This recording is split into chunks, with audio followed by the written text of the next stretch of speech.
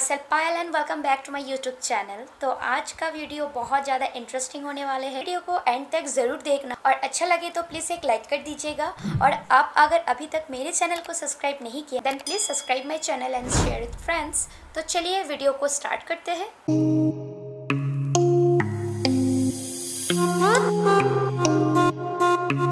Guys, आज मैं आप लोगों के साथ एक प्रोडक्ट का रिव्यू एंड डेमो शेयर करने वाली हूँ, जो इस लॉकडाउन की पीरियड में बहुत ही ज़्यादा एसेंशियल है, खासकर लेडीज़ के लिए। तो वो प्रोडक्ट है फेशियल हेयर ट्रिमर जो कि स्वीट ब्रांड का है। इसका पैकेजिंग का बारे में बात करें तो डीटो जो वीट का ट्रिमर आते हैं, उसी टाइप का ही है।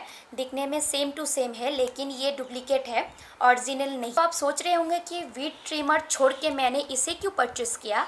तो इसे मैंने इसलिए परचेस किया कि इसका प्राइस बहुत ही ज़्यादा कम है कंपेयर टू वीट प्राइस मैं आपको बता दूँ, इसका प्राइस है टू सेवेंटी फाइव रुपीज़ और व्हीट का जो ट्रिमर आते हैं, उसका प्राइस है नाइनटीन हंड्रेड या टू थाउज़ेंड की आसपास ही है। तो वो बहुत ही ज़्यादा महँगा पड़ता है। तो इसका अंदर मुझे कुछ इस टाइप का प्रोडक्ट रिसीव हुआ। तो इसको मैं एक एक करके दिखाती हूँ क्या क्या इसमें दिया है। इससे पहले मैं आप लोगों को एक बात बताती हूँ। अगर आप पार्लर जाना पसंद नहीं करते हो और घर में ही फेशियल हेयर रिमूव करना चाहते हो तो मैं सजेस्ट करूँगी कि आप वीट का प्रोडक्ट ही परचेस करें, क्योंकि ये जो प्रोडक्ट है आपको ज़्यादा दिन तक साथ नहीं देने वाले हैं। तो ये मैंने बस ट्रायल के लिए ही परचेस किया, क्योंकि मैं पार्लर जाना ज़्यादा प्रिफर करती हूँ। अभी का जो सिचुएशन है, हम पार्लर नहीं जा सकते हैं। बस इस सिचुएशन के लिए मैंने ये वाला प्रोडक्ट ऑर्डर किया। नहीं तो मैं ज़रूर भीट को ही परचेस करती। चलिए दिखाती हूँ उसका अंदर क्या क्या है और कैसे यूज़ करना है। सो so गाइस इस प्रोडक्ट का कुछ इस टाइप का पैकेजिंग है। इसमें आप देख सकते हो एक ट्रिमर है और साथ में और एक फॉरहेड दिया है और साथ में आ, कुछ टूल्स भी है। और इस ट्रिमर का होल पार्ट कुछ प्लास्टिक मटेरियल सा है और इसका एक ही सेल का यूज़ है। तो इस टाइप का इसमें सेल लगाना होता है।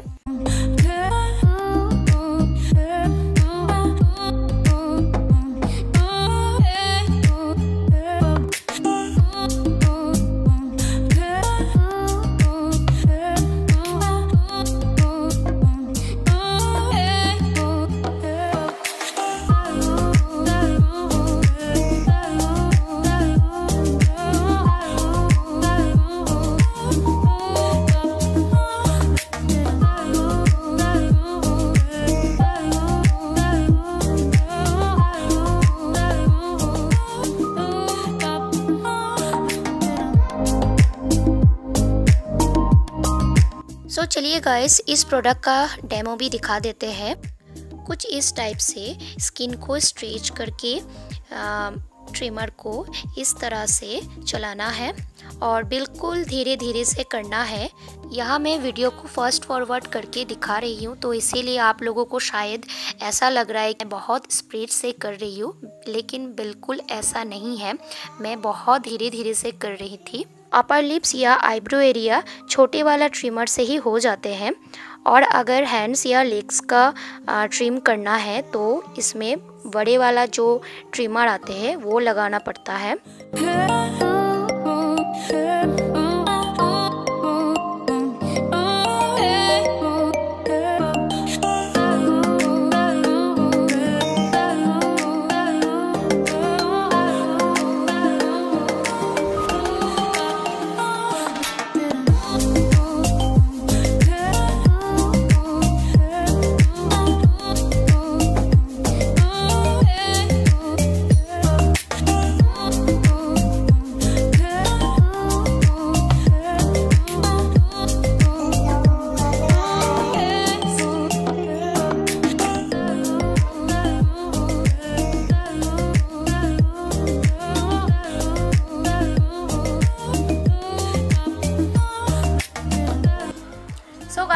कैसा लगा ये प्रोडक्ट कमेंट सेक्शन में अपना राय ज़रूर बताना। इस ट्रिमर का बारे में बात करूँ तो ये प्रोडक्ट मुझे ठीक ठाक सा ही लगा क्योंकि मैं इसे शॉर्ट टाइम के लिए परचेस किया। थोड़ा बहुत भीड़ जैसा ही है बट इसका क्वालिटी उतना मुझे पसंद नहीं आई। आ, थोड़ा क्वालिटी चीप है मुझे लगता है।